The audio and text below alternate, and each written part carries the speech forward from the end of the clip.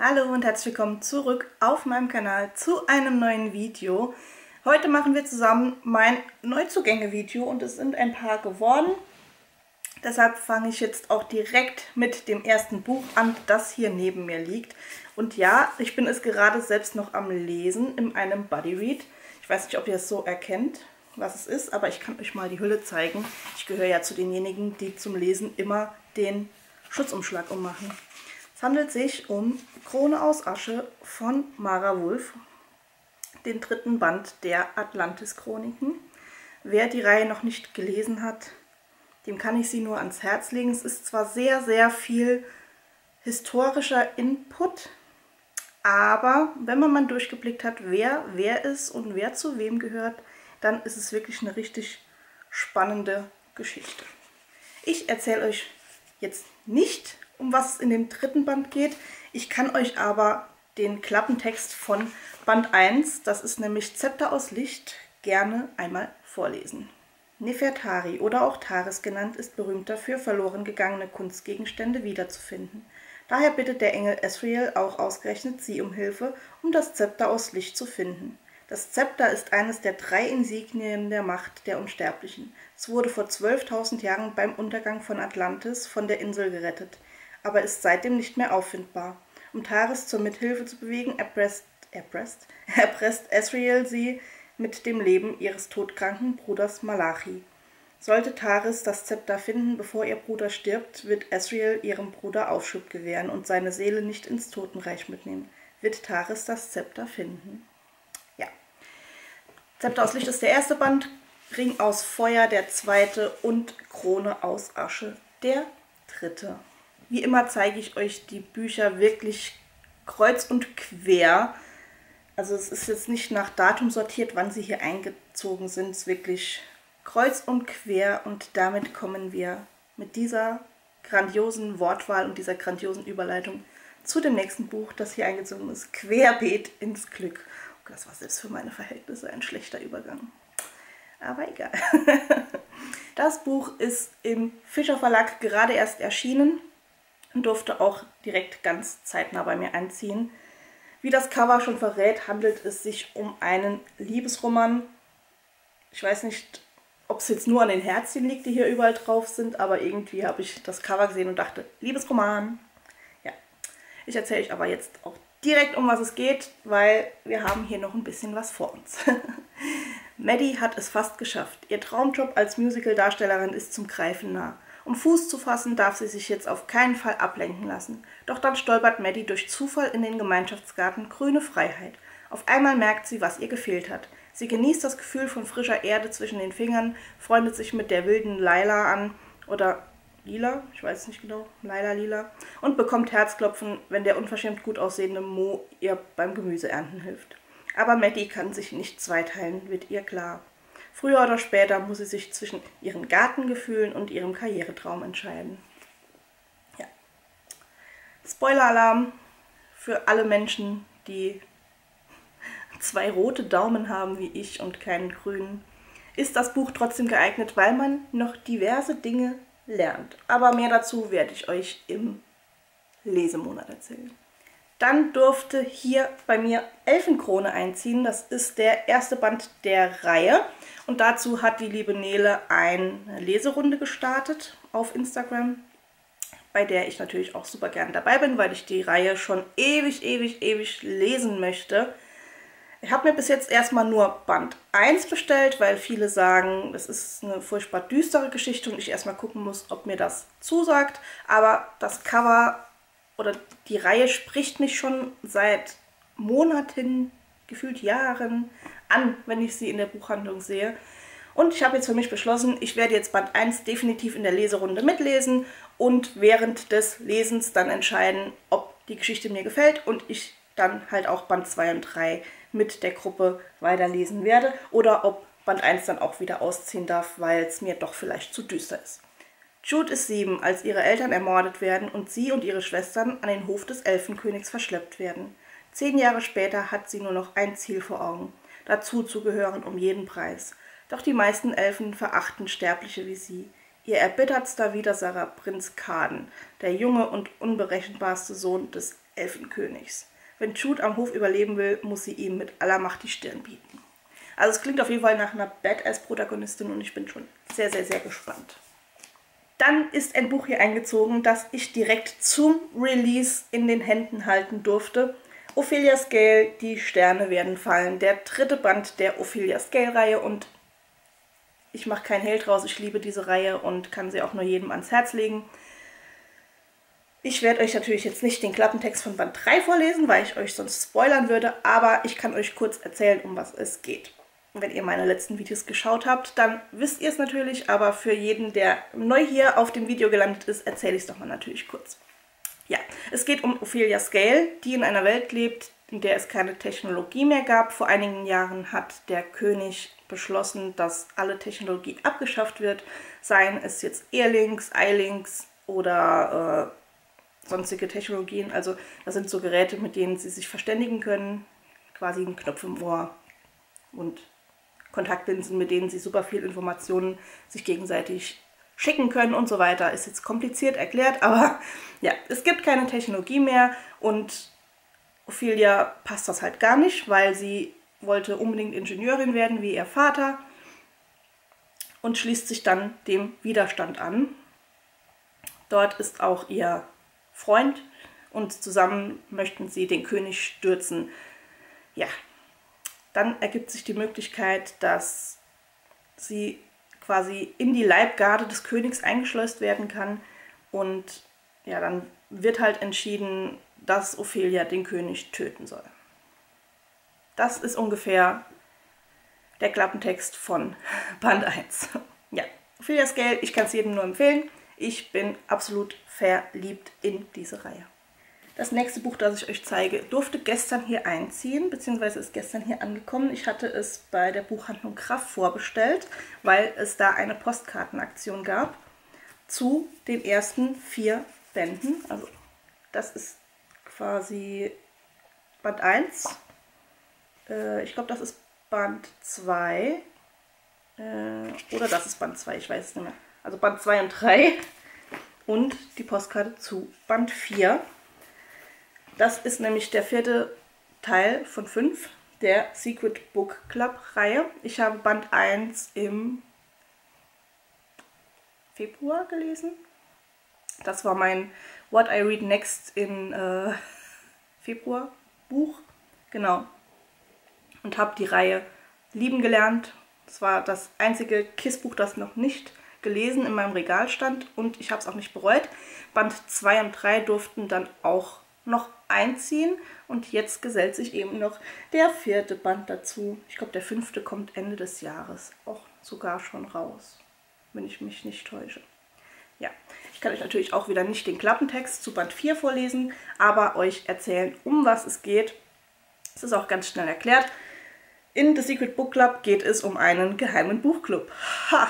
Wer Englisch kann, der hatte sich das vermutlich schon gedacht. Aber es ist kein gewöhnlicher Buchclub, sondern es ist ein Buchclub, der rein aus Männern besteht. Ja, die Männer lesen Liebesromane, um ihre Frauen besser zu verstehen. In Band 1 geht es zum Beispiel äh, um den Profisportler, dessen Ehe kurz vor dem Aussteht und ähm, er sich erhofft, durch diesen Buchclub seine Ehe retten zu können.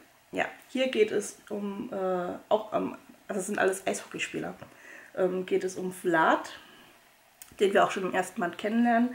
Aber mehr möchte ich dazu auch nicht sagen. Jedes Paar hat einfach so seine Problemchen und sie versuchen halt durch das Lesen von Liebesromanen ihre Frauen besser zu verstehen. Und jetzt freue ich mich, euch zwei Bücher zeigen zu dürfen von einer lieben Self-Publisher-Kollegin, die ich mittlerweile ins Herz geschlossen habe.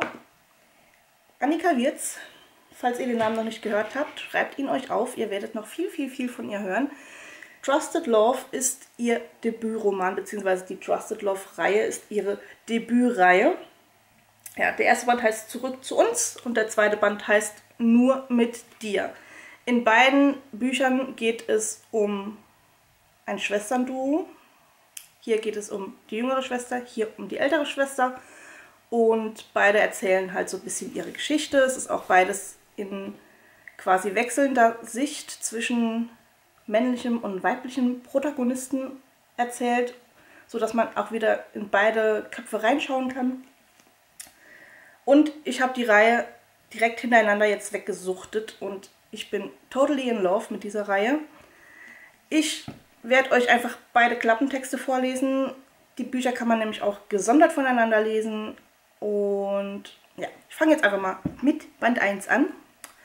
Neun Jahre hat Luke einen Fuß in ihre Heimat gesetzt. Zu schlimm sind die Erinnerungen an ihren Unfall und an das, was sie mit ihm verloren hat.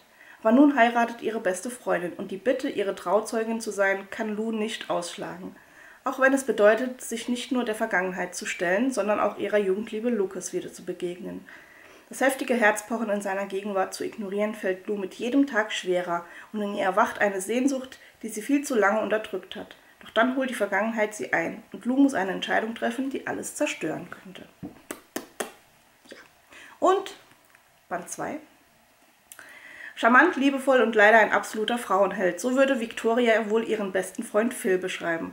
Ein Typ, mit dem sie nächtelang um die Häuser ziehen, Arm in Arm durch die Stadt schlendern und stundenlang telefonieren kann. Niemals hätte sie sich vorstellen können, dass ihr Herz einmal in seiner Gegenwart schneller schlägt und ihre Sehnsucht nach ihm immer größer wird, bis Phil sie plötzlich küsst und damit ihre komplette Welt auf den Kopf stellt. Er setzt alles daran, Victoria endlich ihre Gefühle zu entlocken. Doch keiner der beiden ahnt, wie gefährlich Phils Vergangenheit für sie werden könnte. Und plötzlich ist es nicht mehr nur Victoria, die sich fragt, ob ihre Liebe es wert ist, alles zu riskieren, wenn man noch so viel mehr verlieren könnte.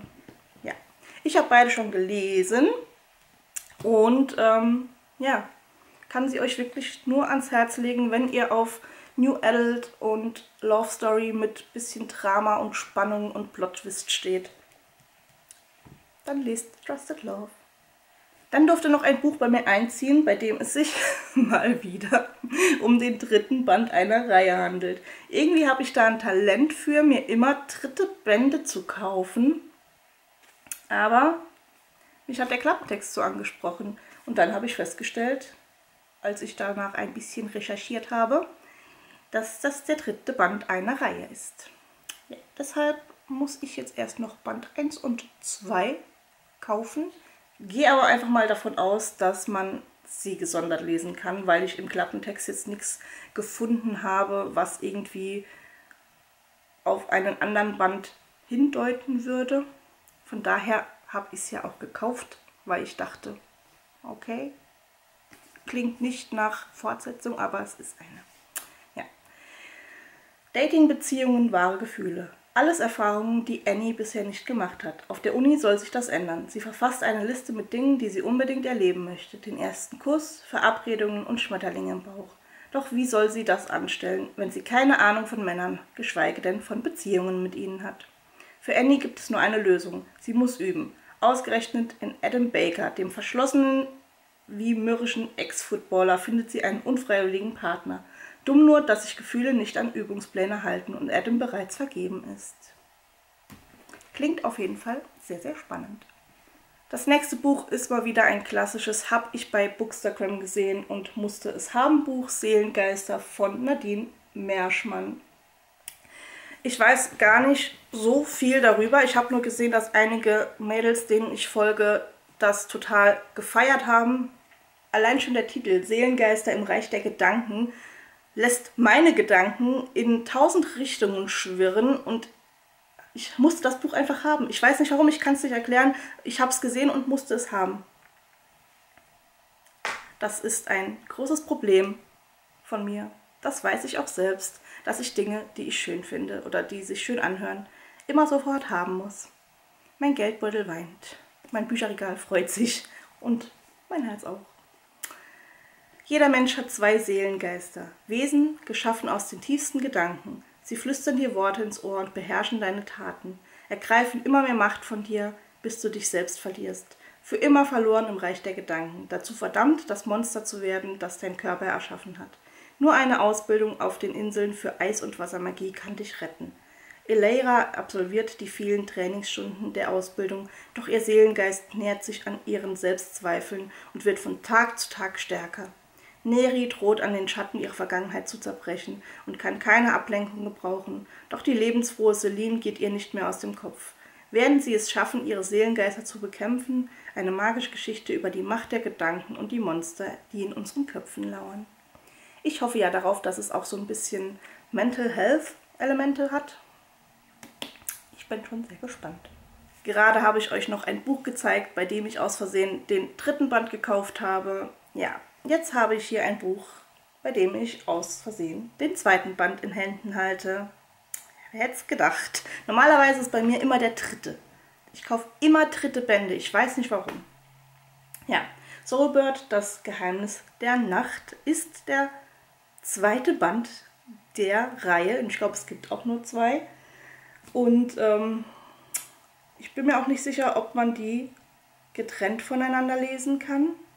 Ich kann euch jetzt natürlich nicht den Klappentext zum zweiten Band vorlesen, weil der, wie ich gerade gesehen habe, ein wenig spoilern würde. Ich habe mich gerade auch aus Versehen selbst gespoilert. Ich bin mal wieder sehr klug.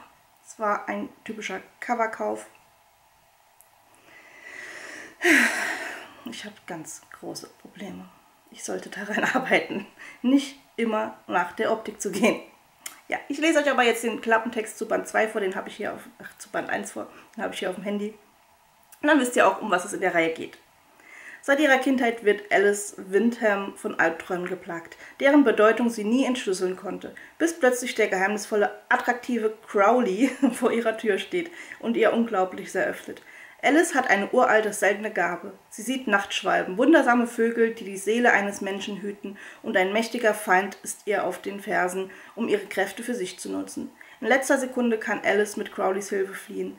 Sie folgt ihm in ein verborgenes, paralleles London voller Zauber und Gefahren, und mehr über ihre, um mehr über ihre Fähigkeiten zu lernen. Oh mein Gott. Doch ihre Magie ist mit einem dunklen Erbe verbunden. Ja, das wäre die Soulbird-Reihe. Das vorletzte Buch wäre Sierra Clara von Karin Eger. Das wurde mir auch von Nova zur Verfügung gestellt. Vielen Dank dafür. Und ähm, ja, normalerweise ist das gar kein Buch, das ich mir so kaufen würde. Der, gut, das Cover ist natürlich wieder wunderschön, aber es ist ein gesellschaftskritischer Roman und das ist ja jetzt nicht unbedingt so das Haupt Ding, das ich in der Regel lese. Aber als ich den Klappentext gesehen habe, als es mir angeboten wurde, habe ich direkt gedacht, okay, das musst du lesen, weil es wirklich eine Thematik hat, die mich arg interessiert. Und wenn ich euch den Klappentext vorlese, wisst ihr vielleicht auch warum. Zwei Frauen, zwei Hautfarben, Tochter und Mutter, die mit ihrem Glauben aneinander Berge versetzen. Clara wächst in der süddeutschen Provinz am Alpenrand auf. Hier ist sie der einzige Mensch mit einer Hautfarbe wie Kakao mit Milch und Honig. Das Mutter-Tochter-Gespann wird kritisch beobachtet. Wo ist der Vater? Was verbirgt die lebenshungrige Mutter? Als junge Frau folgt Clara ihren Traum von der Ferne und wird Flugbegleiterin. Ruhelos reist sie um die Welt, bis sie beschließt, ihren Vater ausfindig zu machen. In Vancouver kommt es zu dem lang ersehnten Treffen. Die Schatten lichten sich und Clara blickt in ein Geflecht aus finanzieller Macht und Diskriminierung, in dem auch ihr Vater gefangen ist. Ihre, Hang ihre Angst vor seiner Ablehnung weicht der Einsicht, dass alle Freiheit in uns selbst liegt. Ja, klang total schön für mich und deshalb musste dieses Buch auch unbedingt hier einziehen. Und ich habe es vor, jetzt auch noch ganz zeitnah zu lesen. Und dann werde ich natürlich im Lesemonat darüber berichten. Last but not least durfte gerade heute noch dieses Buch hier bei mir einziehen. Nina Tramutani Cards of Love 2, der Zauber der Welt. Ich habe es bei der Bücherbüchse vorbestellt, weil ich diesen wunderschönen Buchschnitt wieder haben wollte. Ich habe nämlich damals Band 1 bei der lieben Nella gewonnen, auch mit dem Bücherbüchse Farbschnitt. Und deshalb war für mich irgendwie auch klar, dass ich Band 2 dann natürlich auch mit diesem Farbschnitt haben muss. Das ist ja wohl ganz klar. Da es sich hier auch wieder um eine fortlaufende Reihe handelt, kann ich euch den Klappentext zu Band 2 wieder nicht vorlesen, aber ich werde euch den von Band 1 erzählen. Giulietta ist gerade mit der Schule fertig und weiß nicht, was sie mit ihrem Leben anstellen soll. Einzig das Legen von Tarotkarten bereitet ihr Freude. Sie ist am Boden zerstört, als ihr Vater, den sie über alles liebt, angeblich bei einem Unfall in Venedig ums Leben kommt. Ausgerechnet in der Stadt, von der ihr Vater sie immer fernhalten wollte. Giulietta zieht trotz seiner Warnungen nach Venedig. Sie kommt im Grand Hotel ihres Onkels Vincenzo unter und merkt schnell, dass dort nicht alles mit rechten Dingen zugeht. Wer sind die seltsamen Schauspieler, die so großes Interesse an ihrer Tarotkunst haben? Und wer der mysteriöse Malvolio, der seine Hilfe anbietet? Ja, Cards of Love 2 durfte heute hier einziehen. Das waren jetzt alle meine Neuzugänge. Stand jetzt. Es ist auch, glaube ich, nichts mehr unterwegs zu mir, was diesen Monat noch ankommen soll. Ich habe ja einige Dinge schon vorbestellt. Aber ich werde mir gegebenenfalls noch ähm, das neue Buch von Ava Reed zulegen, Whitestone Hospital. Das habe ich gerade bei Bookbeat gehört und die Geschichte hat mir so gut gefallen, dass es noch als Print hier einziehen darf. Ich weiß, das ist nicht normal, das ist total gestört, aber wenn mir eine Geschichte so gut gefällt, dann muss ich sie immer noch hier im Regal stehen haben. Wie sagst du immer so schön, Evi? Bücher sammeln und Bücher lesen sind zwei verschiedene Hobbys. Mit diesen weisen Worten verabschiede ich mich heute von euch. Wünsche euch noch einen wunderschönen Tag und ich hoffe, wir sehen uns auch beim nächsten Mal wieder. Tschüss!